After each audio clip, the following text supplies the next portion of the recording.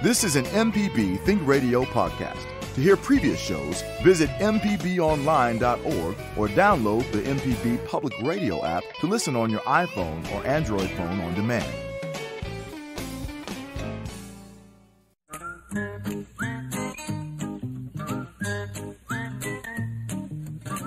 Okie dokie, folks. Welcome back. Horticulturist Felder Rushing. Uh, me and Java and Kevin were just laughing about last week when I was broadcasting from West Texas, and I was using a borrowed phone, and the lady who owned it walked in, and it, the sound cut out. I couldn't hear anything because it was, com- it was coming into her her her, her ear. What? Uh, hearing aid. Yeah, into her hearing aid. And she kept coming in. She said, "They're asking about fertilizer." yeah, we. I, I, like. I still want to. I feel like I still should apologize for hollering in her ear because all I was saying was, "Felder, can you hear me? Can you hear me?" Yeah. Well, did you keep it clean? That's what I want to know. anyway, we're going to be talking about gardening today. It's uh, you know, it's a kind of a nice weekend. It's muggy. You know, it might rain some areas and all that, but uh, it's a good time to be doing stuff out in the yard if you feel like it. If you feel like getting out there, um, it's a good time to plant stuff. Uh, there's all sorts of things that like the cool weather ahead. A little bit late for planting summer stuff, you know, late late for tomatoes and peppers and, and marigolds and stuff like that. But if you can get a good deal on some flowers like marigolds or zinnias, go ahead and put them out because they're probably cheap, and you can get two and a half, two, two and a half, maybe three months out of them, and that ain't bad. Uh, anyway, I brought in a handful of flowers for my bouquet, and back I brought my, my, my nasty coffee cup that I can't use for coffee anymore because it's got a hole in it. I don't know if I told you that, Java. Well, I was a little uh, uh, there it is, right there. Yeah, you, you, can see it. It's right by the B in the MPB, so I can drink a half a cup of coffee at a time. Because I knew you had a new cup and it wasn't as broken in as this one. No, no. This is this one I, I use for my flower arrangement every week. I, I bring, bring in stuff from my yard. I've got um, some uh, African blue, blue basil. I got big old zinnias, American beautyberry, and some Dusty Miller. I got some some uh, garlic. What What's else? that kind of that, that kind of uh, that frosty? I, that's the only thing I can wait. I can this describe stuff? it. Yeah, that frosty white. Uh, that's that's called artemisia and it's one called uh, Powis Castle. It spreads. It gets about a foot and a half tall, and it spreads out about three feet wide. It smells it smells kind of funky, but it'll keep mosquitoes away. Okay. If you rub it on you. But anyway, it's uh, it's just a little uh, it's a ground cover type stuff. Yeah, and, I've seen it around. Yeah. Oh yeah, it'll and it'll take you know ten below zero and uh, and it'll go for two months with no rain and 100 degrees. So it's an ideal plant. It's sadly it's not. You know, a lot of people plant this other stuff, real similar, called Dusty Miller. It looks like it, but it's it's whiter, it's lighter color, and uh, it's an annual. But anyway, I got all sorts of stuff, including some beautyberry. And where else did I find? I found something in it. Oh, here we go, a seed pod from a magnolia tree. Look at the little red berry-looking thing sticking out. Oh yeah, we used to throw those at each other. They got a really peculiar smell. Oh, a real peculiar smell. But anyway, I want. Ooh, it reminds me of walking around barefoot in the fall. This is a time of year to start you know, planting stuff like that. Dogwoods and uh, magnolias. You want to grow them from seed. You got to take these little red berries, and if you rub it, there's a seed inside, a little black seed there. Uh-huh. You got to get it out of the fruit because if you leave it in the, the berry, it won't sprout. So you get it out, you rub the seed out, you put it in a, uh, either you can plant in a pot, leave it outside, and sprout in the spring because it needs to be exposed to cold, uh, wet, chilling type temperatures to sprout. Or you can put them in a plastic bag, throw them in the refrigerator, pull them out next spring, and plant them, and they come right back up. And you rustled those your bouquet, and I can smell it now. yeah. Like I can, I, it's re- it's really fragrant in here. Yeah, well, in a in a kind of a funky. Oh, and this this plant here called American Beautyberry, it's got golf ball sized clusters of. I don't know macraelas. Is that purple? Is that mag- I don't know what color that is. It's not. It, it's a, it's a purple, but it's not a deep purple. Yeah, this is a native plant. Grows out in the woods and has uh, all up and down the stems. It's got these golf ball sized clusters of of berry. They're edible. They taste. Blah. It's like eating raw oatmeal. But get this: the leaves of it have got a not a real pungent smell, but you can take the leaves and rub them on your arm and keep mosquitoes off. Now I was going to ask you because I've been seeing a lot of articles about foraging. Yeah. And is it is like is is now the time for foraging or something? Oh, you can you can you can forage year round. I've got matter of fact, I got a little uh, publication, a little little thing I write, a little PDF I send to anybody on urban foraging. Here's the kind of plants that are commonly found in towns and gardens that you can eat, but you never think about. You know, Yeah. weird, weird stuff. So uh, I, I, I might bring that up next week and uh, and we can talk about that. But there's all sorts of stuff out in the yard you can eat that you wouldn't think about eating because we ain't hungry enough. And because there was some, uh, we were at my parents' house and the kids were, uh, you know, in the yard and they saw some mushrooms. And the first, no, no, no, fir- no, no, no, what, no, was, no, no, and that was the first thing they said. Oh no, don't touch the mushrooms! Don't touch No. the mushrooms. There are some edible ones out there. There's some delightful ones out there. I don't eat them. I don't really like mushrooms. I don't eat, eat oysters. I just soon eat a spoonful of mayonnaise. But there's some delicious, delightful mushrooms out there. But for every one of those, there's two or three that'll shut down your kidney in four hours, and it's not a good way to go. And you don't want to chance it. No, no. So anyway, we got all sorts of stuff. Uh, again, I can talk about. it. I brought some garlic. I'm planting. Maybe not this weekend. I'm gonna work up the dirt, plant some garlic this uh, up soon, and um, there's just plenty of things going on. So uh, if anybody wants to talk about things like that, give us a call. It's toll free one eight seven seven MPB ring. Uh, we've got the lines wide open right now. Kevin Farrell's over there. The esteemed Kevin Farrell is doing the phone, thinking of weird words, I'm sure. But uh, anyway, if, you got some things about lawn care, you know, there's a lot of a lot of people saying now, now, now is the time to winterize the lawn. Well, it's really not. It's past the time. But I suppose if you put some out this weekend, you can get away with it. But the problem is if you fertilize grass too late into September, October, it greens it up, makes it real tender right at the time when we start getting our freezes, and that causes problems. So we want to get plants ready for winter, not wait till winter to winterize it. It's past the recommended date for putting winterizer out, but if you want to get on it this weekend, water it in real good. I'm, I, I, you know, it's, it's your yard. It's probably not going to kill it. But um, other things, uh, I noticed that uh, I saw some some uh, fall color on poison ivy. Poison ivy starting to fire up. Uh oh. Yeah, I mean, you know, it's getting to be fall. I haven't seen any goldenrod around Jackson yet, but there's lots of stuff that's saying the days are getting shorter, and that tells plants it's about uh, red wave, red, ultra red, far red, ultraviolet light. Okay. The shorter the days, plants start slowing down. They start sealing stuff off. They stop pumping stuff in the leaves. The leaves start showing colors, and uh, they're going to start falling. So the, the trees are already saying it's time for us to slow down. Yeah, because the true autumn equinox, I know a lot of people just count now as fall, but the true autumn equinox is, I believe, next week. The day is really going to be like the amount of daylight and, and night is going to be split in That's right. 12 hours, That's split right. Ne- exactly in half. Yep, next week.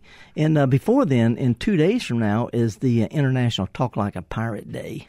And I, I, I, I have one of your cheesy tunes Little- queued up, and it's it's it's fun. It's yeah, fun. so the the the uh, car kid Kardashian anyway, whatever. I can't remember the, the the name of the group, but they sing children's songs. But uh, anyway, if you want to give us a call, toll free one eight seven seven MPB ring. Let's talk with Greg from. Is this from Batesville? You from Batesville, Greg? No, Burnsville. Oh, Burnsville. Iuka, Okay, I got you. I got my my, Yeah, my, I- Tishomingo County. yeah, way up in the ice box. So what's up? You got it. Well, I've got a couple of grafted pecan trees. At this point, they're 15 or so years old, and and and they're beginning to produce a few pecans if I can fight the squirrels to get them. Yeah. But, but the important issue is this time of the year, I'll get these um, caterpillar kind of um, silky nest in there. Yeah, yeah. I, I just came in from outside. I mean, it's perfect timing. There was a big cluster of them at the base of a tree, and and I did spray them. And and in the tree, I've noticed, particularly the last few years, what looks like maybe a borer that's going in, um, particularly maybe at a at a limb or leaf joint, and um, there's a seeping or weeping that's coming out of the bark. From, Yeah. I'm, I'm guessing it's an insect borer. It could be. Here's the deal with pecans. First of all, those those uh, tent caterpillars, uh, which which what they're called. Some people call them webworms, but tent caterpillars is a little bit more accurate. Uh, each one of those was from a single moth that laid a mass of eggs. Every one of those was one moth laying a bunch of eggs, and they spin that silk to sort of protect themselves while they eat some leaves. Uh, if you can reach them with a sprayer, you know that'd be fine. But the truth is, these these trees are starting to drop their, you know, starting to fall anyway. They, it looks worse to us and it really causes major problems with the tree. And uh, a lot of people, you know, if you can reach it with a fishing pole and wrap it up and pull it down. But a lot of people say, well, you just cut it off or you burn it. Well, both of those do a lot more damage to the tree than caterpillars eating some leaves. So if you can live with it, you know, it's it's more cosmetic than anything. As far as the, the borers, pecans, like, like other hardwood trees, do have a lot of t- type of beetles that bore into the, the, the, you know, they bore into the bark, and then their larvae go around and around under the bark and, and make tunneling, which can girdle the tree. Uh, the problem is, uh, and most of the time, a healthy tree with plenty of moisture will push them back out. So a lot of times there's a hole and a little weeping. That's just a tree defending itself, uh, which is good because once they get in, there's nothing that will reach them. There is no spray, there's no treatment that you can use once a borer gets in. Most of the time, again, the trees compartmentalize it or push it out. And as long as it's weeping, I wouldn't worry about it. If you see sawdust coming out of it, that's the problem. That means they've they've really dug in. But uh, again, not much we can do about it. You know, I was raising pecan grow, raising pecan grow squirrels and, and stuff dripping out of trees and dragging broken limbs to the to the burn pile. Just part of my childhood. Okay, okay. Well, I've had pecan trees at other times in my life, and you know, when when I planted these as little grafted trees, and I've nurtured them along, Yeah, you, you just and I'm finally at the payoff stage. Yeah, right, right. Here, I'll, I'll get some nuts showing up there. Um, yeah, I Yeah, just worry if I can keep them another 15 years. And here, here's one other thing. You know, we had a lot of ice uh, back in, in was it January, February? I don't remember. Whenever it was, we had a lot of ice. Well, that bends branches down and it cracks them. It cracks the upper part of the stem. It cracks the uh, the those little crotches, the the, the joints where they the, where they they sprout out. And those cracks, uh, you get water and dust and stuff like that. That can lead to decay, and also insects can come in there. So a lot of times we see damage from ice storms that shows up two or three years later because of just the, the cracking under the ice load. It's really hmm. weird. So, but you know, that's part. As long as the tree overall, as long as they look okay from halfway across the yard up high, I wouldn't worry about some lower limbs. That's just sort of part of the pecan tree life is dropping older limbs. All right. Well, they do have some lichens that are showing up Not on a, the, not a the trunk. not a problem. Lichens grow. Okay. On, they grow on rocks, tombstones, and iron bridge railings. They lichens grow on anything that's stationary. Uh, it, it, this next spring, if you'll throw some fertilizer under the outer spread of the branches, not up close to the trunk, way out there, or fertilize any grass nearby, that'll help the trees about as much as anything. Doesn't take much. Okay, good. Well, I, I, I do fertilize. Um, it, tell you the truth, this is a, a, a getaway place, um, so uh, I'm not here full time. But man, it just gives me joy to come and uh, I planted some apple trees. If I can keep the deer away from them, I do have them fenced in now. So, are you sort Oh, of is is it away from other folks? It, it is. It's I got, away I- from other I folks. got a, a solution that I learned from my great grandmother that my mother used, my grandmother used, I've used against squirrels and pecan trees. It's a 410 shotgun. They're they're right now they got those weird looking larvae, those wolves or whatever they're in them, but uh, so don't eat them. But anyway, I'm not saying be cruel to them. Enjoy them as much as you can, but it's your pecans. I know, absolutely. I agree. Well, listen, thank you. I've, and, and you have put my mind at ease, at least. I don't feel quite as worried, but uh, No, I, I do enjoy the show. Take a walk, kick kick around some leaves, smell the air, look for some butterflies. Will do. I can do that. Okay, appreciate it, man. All righty. Thank you so much. You bet. Okay, we've got another caller on the line and a couple of lines open. You can give us a call. I'm horticulturist Felder Rushing, me and Java and Kevin and the other folks here at MPB. We're glad to be here. Glad to yak with you about stuff. There's some events coming up. Um, if you've got that, I'd like to mention, one is going to be the Fall Garden Day that they usually have down at Crystal at Crystal Springs at the Experiment Station. It's actually during the week. I think it's Monday through Friday, the first week in October. Not going to have vendors, but they got a lot of cool stuff out there. Give you some ideas about what you could be having in your garden this time next year. If you know of some garden events I can help promote, give us a call. Toll free 1 877 MPB ring. Meanwhile, if you get a chance to get out to a garden center, if they got garlic, you grab it because a lot of people are planting stuff right now and the supplies ran out last year. So we'll take a real quick break and come back with more of the Gestalt Gardener here on MPB right after this. I'm Dr. Jimmy Stewart. The original Southern Remedy is available as a podcast. Subscribe using your favorite podcasting app. You can email a question to remedy at mpbonline.org. The doctor is always in on the original Southern Remedy.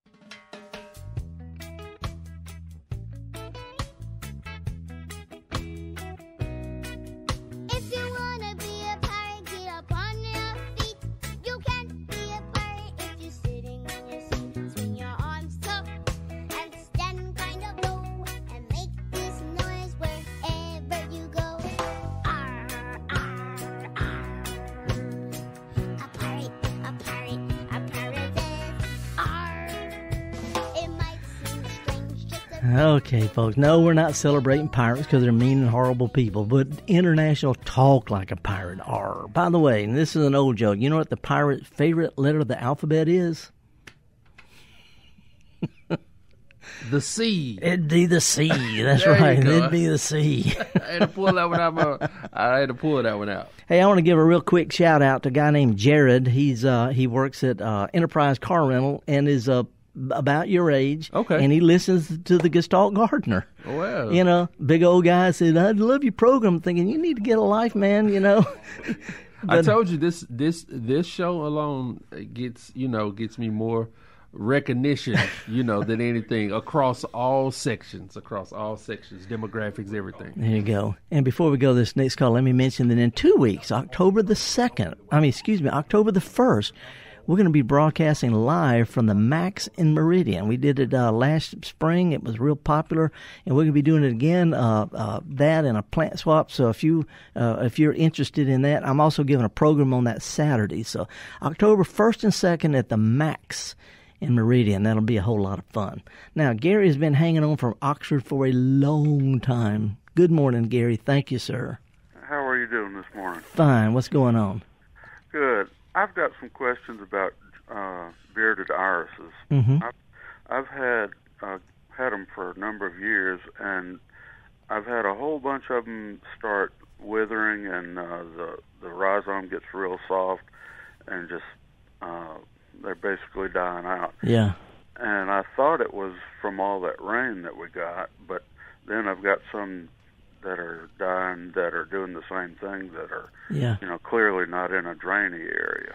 Yeah, well, there there are a couple of fungal diseases that, that get on the, the rhizomes of, of bearded irises, and uh, and I, f- I forget the names of them. Like I think think one's called soft rot or whatever. And what the it, two two things. First of all, you the best control is prevent it best you can. I, bearded irises are one of the only plants that I know of that everybody who knows recommends planting it on top of the ground without any mulch at all. That rhizome, the top of that ropey root needs to be baking in the sun. That, that they're from a Mediterranean type climate. That's what they grow best. And if they get covered up with mulch, with leaves, or if they stay wet, they simply rot. So you know, right off the bat, uh, every time I see irises being planted in a botanic garden, you know, they cut the leaves in a fan, they stick it on top of the ground, they step on it, mash it halfway in the ground, and they walk on. So right off the bat, that's going to be important.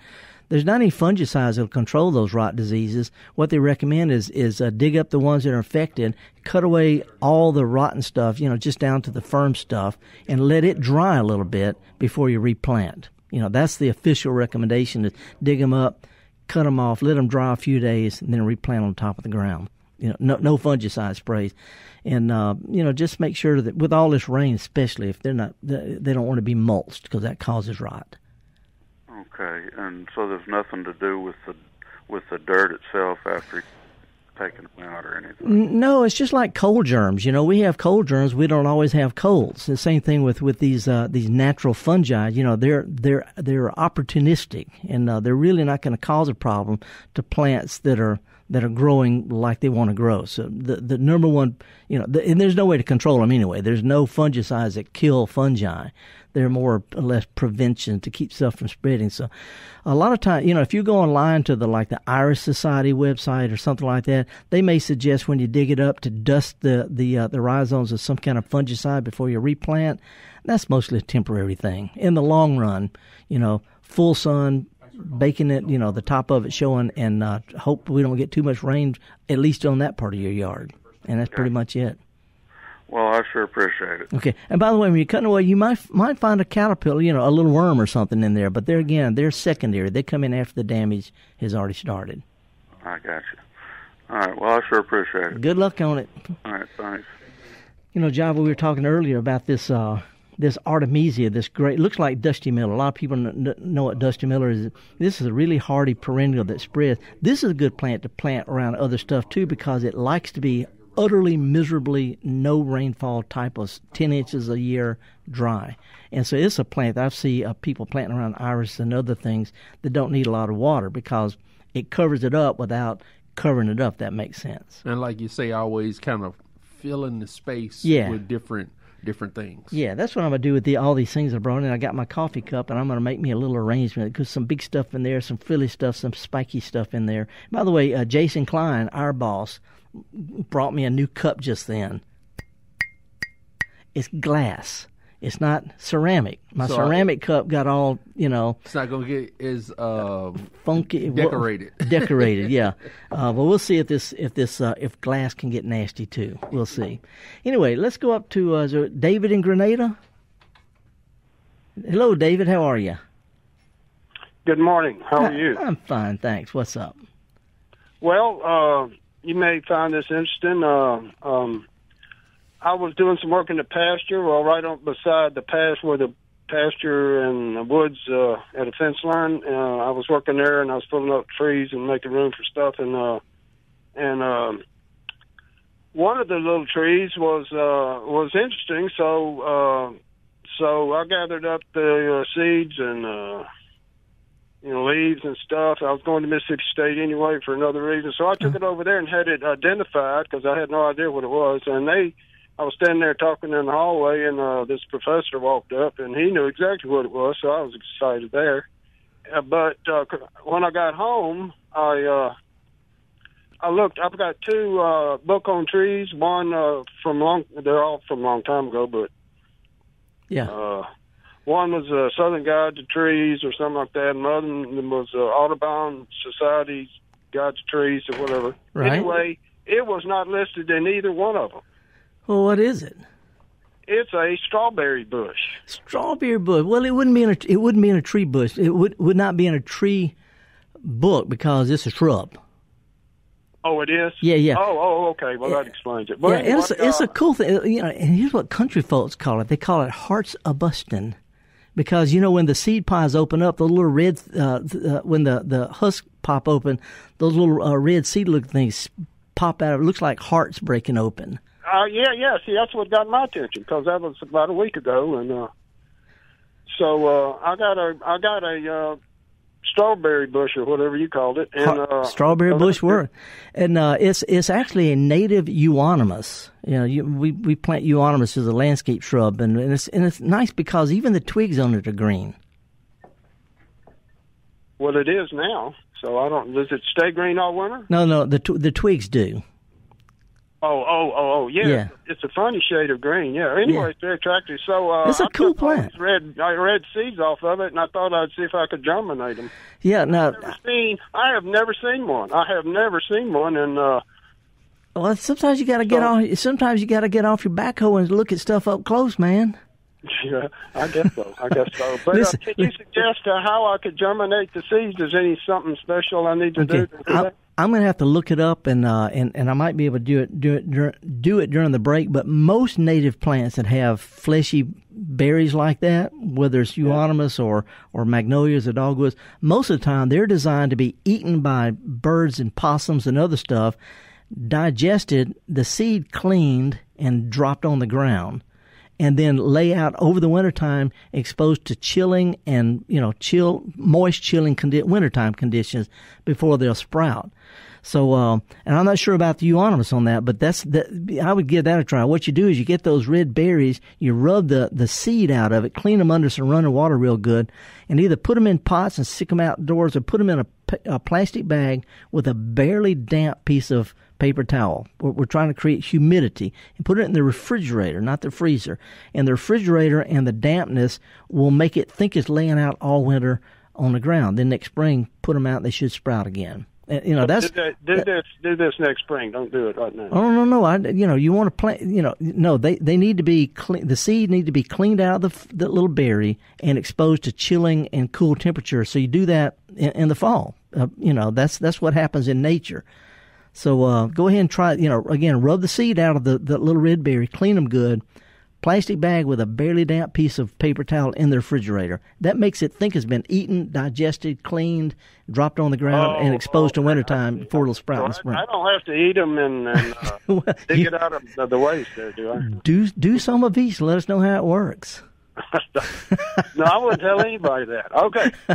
All right. Thank you very much. You bet. Hey, g- great. I, I love it. You know, we're talking about a, a real guy out there. I'm just pulling some trees up to, you know, plant some other stuff, and I found this cool little plant out in the woods, and well, I took it in. I got a big. It's a big wash. I'm. I, I, know, it's a big gully now. You can, you once you see what it looks like, you get your eyes focused on it. You'll see some other scattered. You can cut some off down to a oh, foot, foot and a half, or two tall, and move them out to your yard. But keep in mind, they like to be in the shade. Oh, that was going to be my next question. So they they won't grow out in wide open. Like, They will, but they, they they'd rather be. You, you, you never see them along fence rows. You always see them in the woods. There's a there's a reason for that. well, I ain't never seen one at all. But anyway, all righty then. Thank you very much. Appreciate it. Now, how country do you have to be to know that it's called Hearts of Bustin'? I was raised by I was raised by country folks. My great grandmother was a horticulturist, and she knew all the Latin names and all. But the garden club, she said, "That's not a strawberry bush. That's hearts of busting," you know that kind of thing. But anyway, I love it. This guy's got a backhoe out there pulling trees out so he can plant some other stuff. And then I like I love how it wouldn't be in the tree book because it's a it's a bush. Yeah, it's a shrub. yeah. But luckily for me, I knew the plant because it's a cool plant. So hard, hard to find commercially. Uh, let's go up to Hernando. Is it Shay? Hey, Hey, oh, is it Shay or Hey? it's Shay. Oh, hey Shay, Hey, how are you? what's up, man? Oh, not much. Yeah, um, I got a uh, question for you regarding uh, pollarding or coppicing, and uh, I, I, you know, I just live in the, you know, a neighborhood, my backyard. You know, I'm looking at a space under an acre, so I'm trying to maximize the amount of space I have. Yeah. and I was interested in one of those practices for a red mulberry as well as a black willow. Well, do, do, first of all, they're, they're two different things. Uh, coppicing is when you cut it down almost to the ground and you let them sprout out these long sprouts and leave them there for three or four years so they make real straight uh, uh, fence posts. So coppicing is cutting it to the ground every three or four years to grow posts.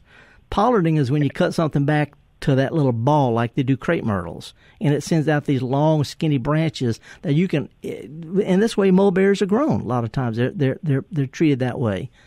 So, um, if you coppice, if you cut it to the ground, they'll sprout back out, but they won't have any fruit. So, what you want to do is leave some, you know, cut, you know, cut them back to it like a ball, like you see people do on crepe myrtles, and then that new growth that comes out will have the mulberries. Then you cut that back, uh, you know, the next year.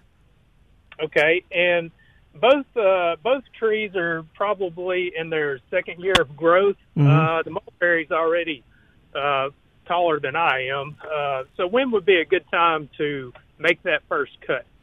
You know, I don't I don't remember if mulberries produce. I think that they produce on new growth uh, in the in the spring and early summer. So that tells me I, I'm I'm making an educated guess here because I'm I'm a real fan of of of, of pollarding. Um, usually that would be done in the wintertime. It may need to be done right after you get through harvesting every year, so the new growth comes out. And then in another, I don't know if it's done in, on mulberries in the wintertime or immediately after harvest in the summer. I, I just don't know. I, Okay. I, I'd have to look that one up, but that would be an easy one. You know, just Google uh, uh, pollarding mulberries. Now they got real soft wood, so that tells me that it might be better to right after you get through picking in the summertime to cut them back then. Okay, Now It- that, that that's just an educated. I'm just thinking through this type of guess. right. It, it's a young tree. It hasn't produced any fruit yet. Yeah. In fact, there's no branches on it whatsoever right Yeah. now.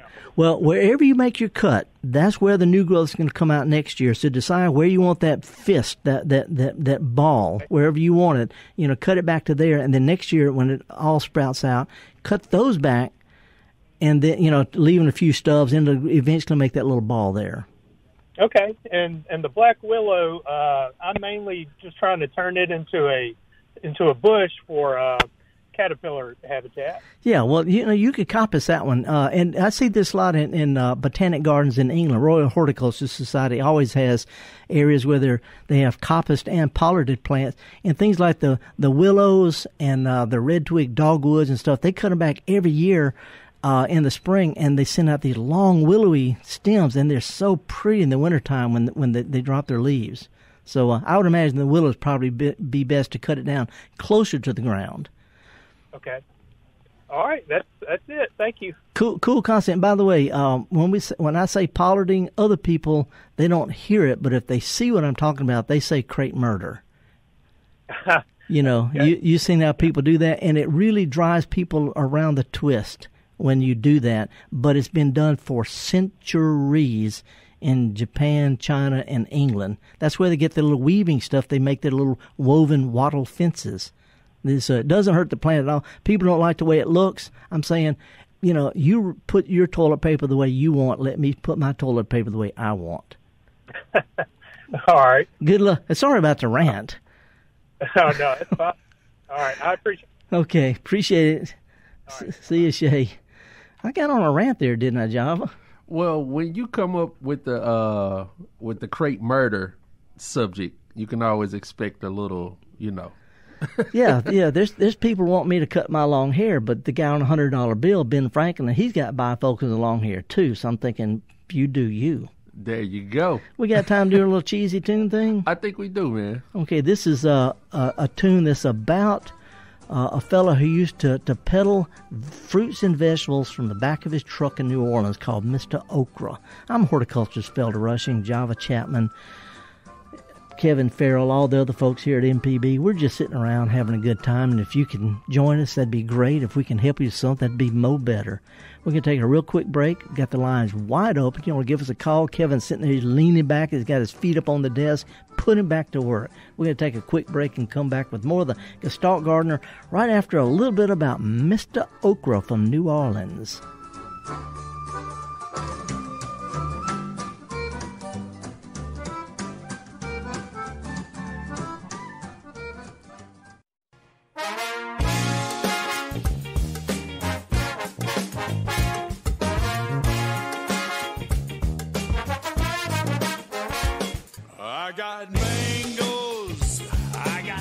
Peaches and plums, I got eggplants, I got the yams and the melons, I got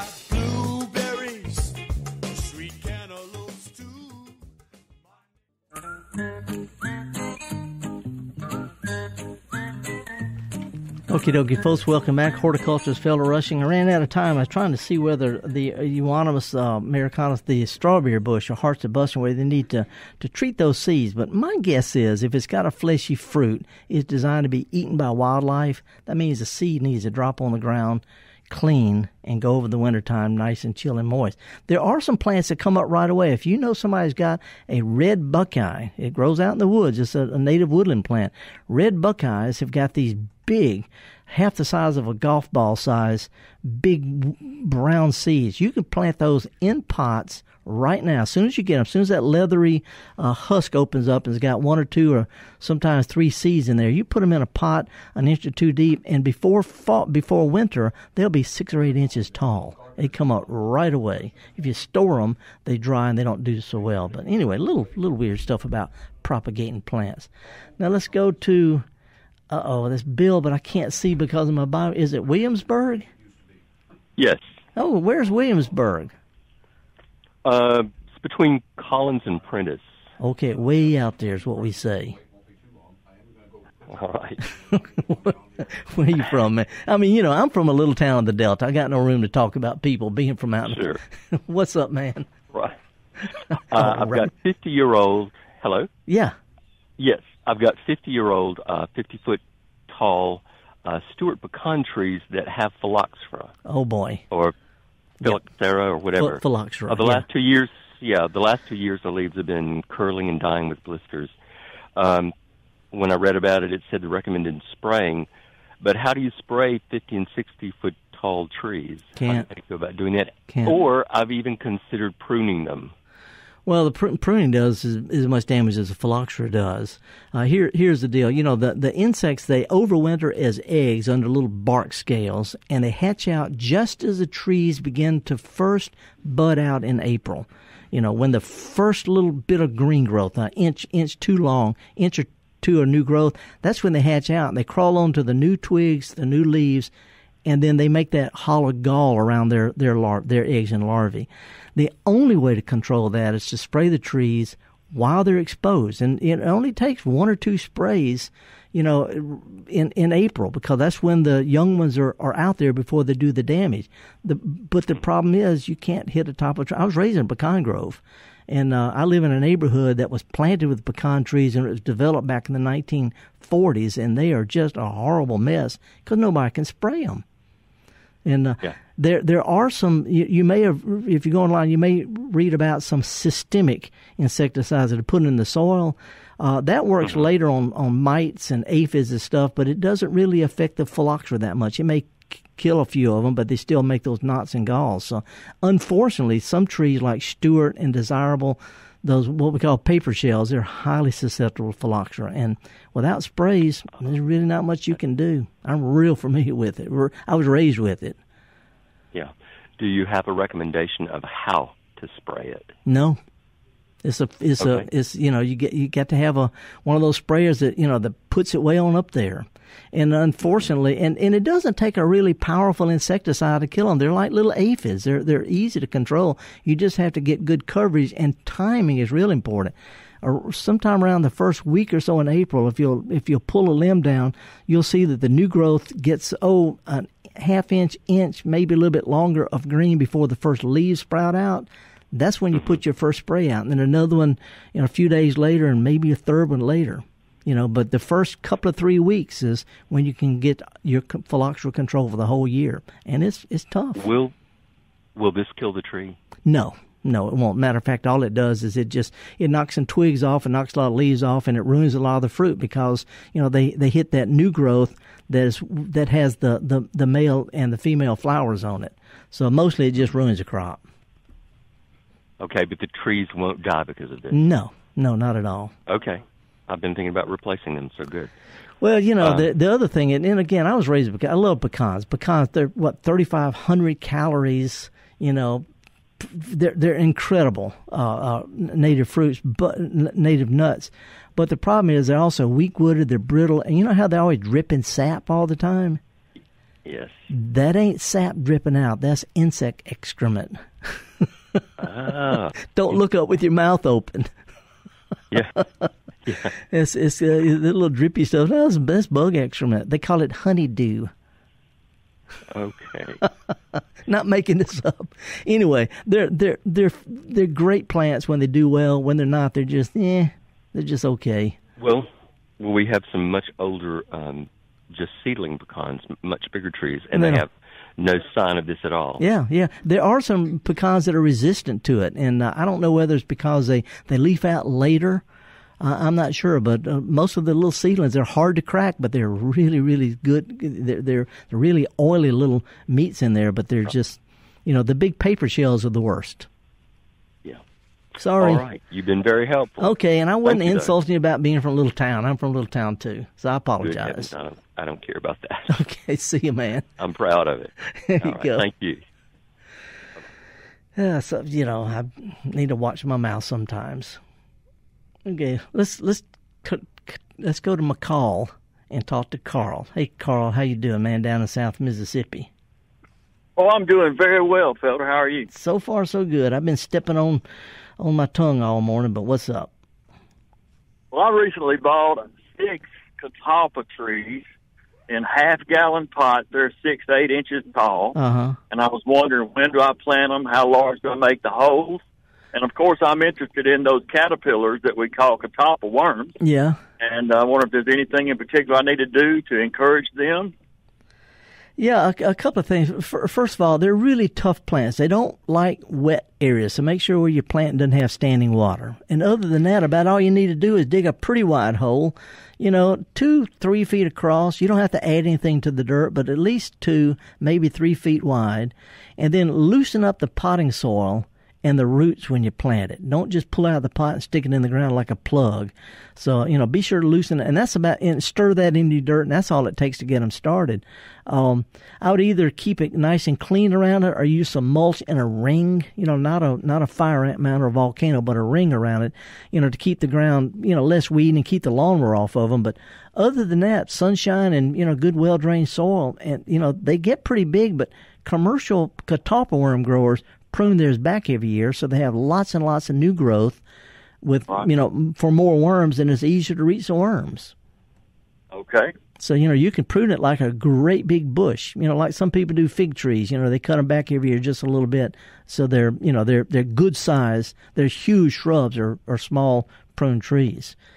Now, as Right. as far as getting the worms, you catalpa worms come from catalpa eggs laid by catalpa moths on catalpa trees, and you got to have the catalpa moths before that'll happen.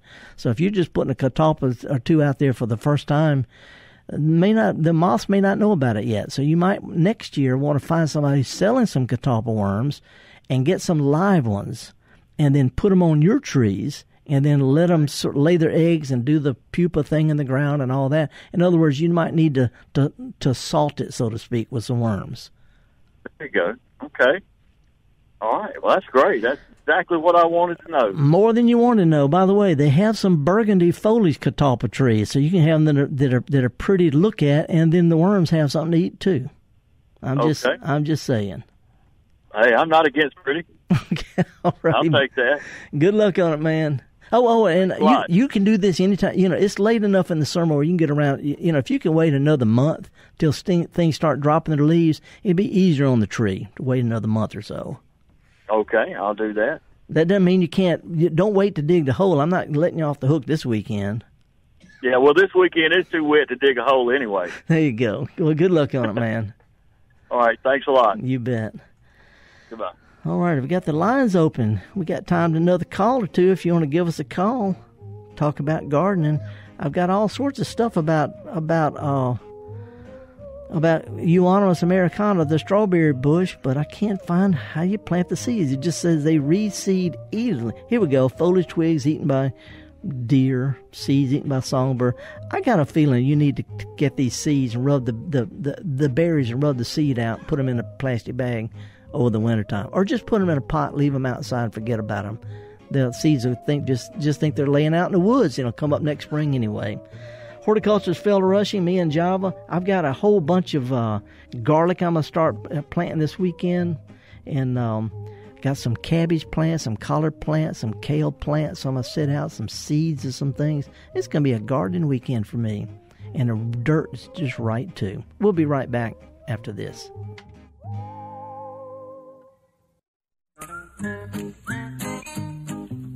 All righty, I was showing my ignorance about Williamsburg. As apparently uh, Java found out it was a county seat of Covington County back in the 1800s.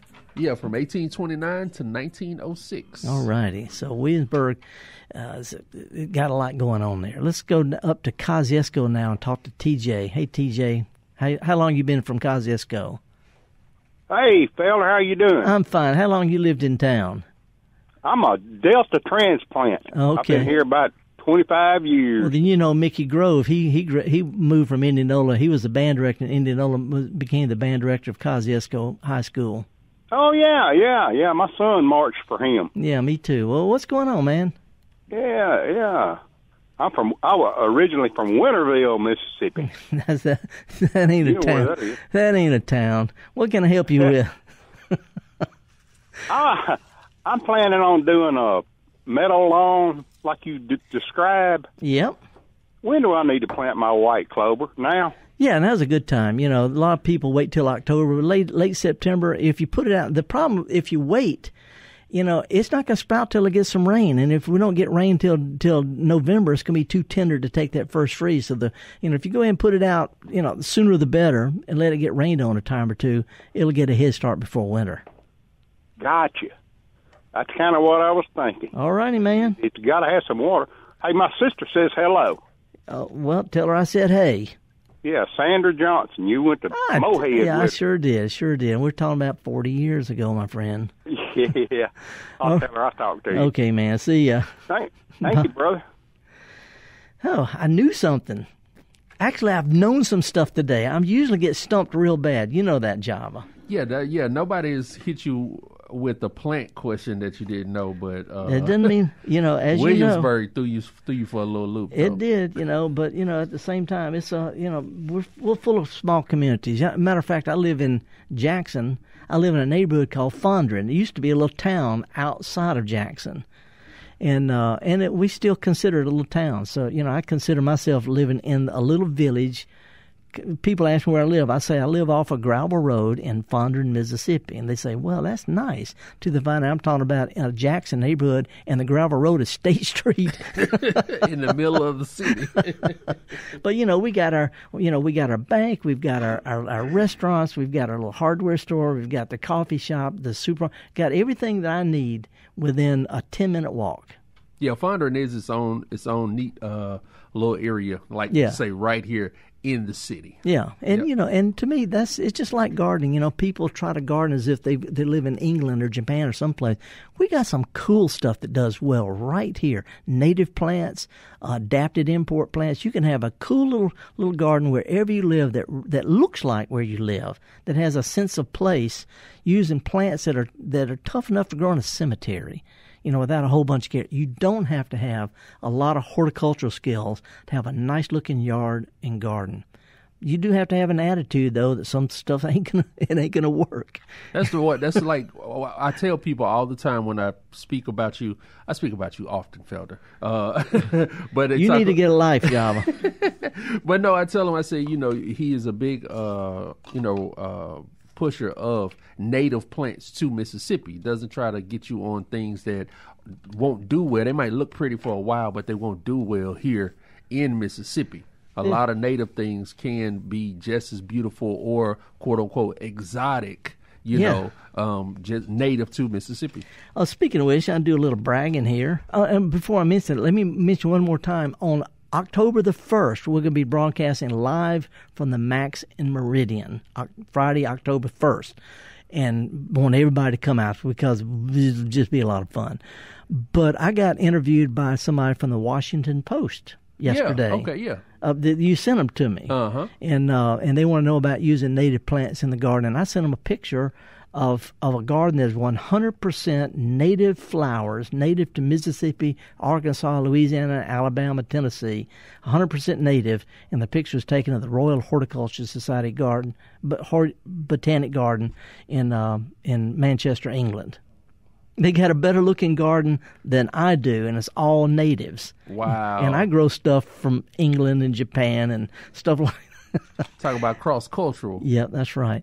It's all good. It's all good. It's a great weekend to get out and plant some stuff. It's a good weekend to think about uh, cleaning the yard up. It's not quite as hot, still kind of humid. Some vines to pull, some weeds to do, some mulch to put out. But uh, it's also a good time just to walk around and look at the pre-fall. Look how the trees are starting to look a little faded. They're starting to shut down. The leaves are are, are being cut off, and as that get cuts off, the green stuff fades and it release it it it, it shows all those wonderful colors that are underneath that are being masked by the green chlorophyll. So we're at the cusp of it, and uh, next week is going to be the first official day of fall. Two days from now is Talk Like a Pirate Day. Or that's right. Don't be like a pirate, but talk like one. Anyway, I'm horticulturist Felder Rushing, Java Chapman, and Kevin Farrell, and all the other folks here in uh, uh, uh, Jason Klein, who brought me my fancy new coffee cup. We're going to see if it gets nasty or not. It's okay. If you get a chance to take a kid to a farmer's market or go to a farmer's market yourself, a couple of weeks ago, I went to a farmer's market in Jackson and met a young. I, I wish I'd gotten her name. A young uh, young woman. She like thirteen or fourteen years old. She said she listens to my program, and I ran into her at a farmer's market. It's where people learn how to grow stuff from people who grow stuff. If you can't grow it, you can get it from stuff who grew it locally. Anyway, if you get a chance, take a kid to a farmer's market or a garden center, get them a bag of, of bulbs